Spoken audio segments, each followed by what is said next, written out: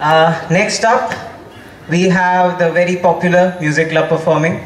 So please welcome them on stage with a round of applause, ladies and gentlemen.